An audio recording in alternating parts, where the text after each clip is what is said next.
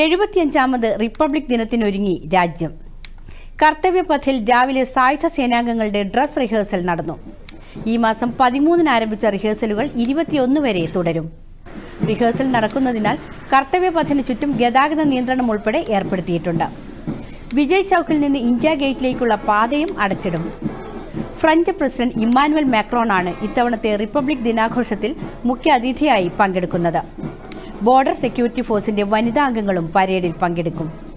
Republic ദിനത്തോടനുബന്ധിച്ച് രാജ്യ തലസ്ഥാനത്ത് സുരക്ഷ ശക്തമാക്കിയിട്ടുണ്ട്.